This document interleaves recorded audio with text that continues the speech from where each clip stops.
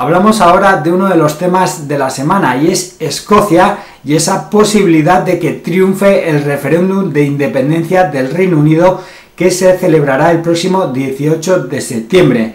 Como decimos, esa posibilidad de que triunfe el referéndum ha asustado a muchos inversores. Hoy los analistas de Credit Suisse otorgan entre un 25 y un 35% de posibilidades al triunfo del sí en el referéndum y afirman que Escocia entraría en una profunda recesión si se independiza del Reino Unido. En su opinión, haría falta una devaluación de la economía que no depende del petróleo de en torno al 20% y una rebaja de los salarios de entre un 5 y un 10%, lo cual sería muy doloroso para los escoceses. Además, se entablarían negociaciones muy complicadas con Reino Unido sobre la futura divisa que adoptaría Escocia y también sobre la producción de petróleo del Mar del Norte. Como decimos, esta posibilidad de que Escocia se independice del Reino Unido ha asustado mucho a los inversores y en opinión de los analistas de Barclays, quien tendría un fuerte dolor de cabeza si triunfa el sí sería el Banco de Inglaterra, que se debe comunicar con el mercado